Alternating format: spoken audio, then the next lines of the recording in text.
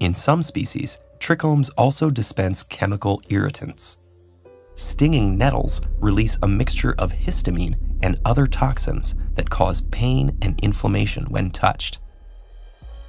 For other plant species, the pain comes after an herbivore's first bite.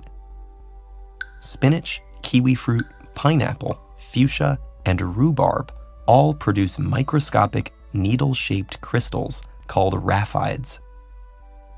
They can cause tiny wounds in the inside of animals' mouths, which create entry points for toxins.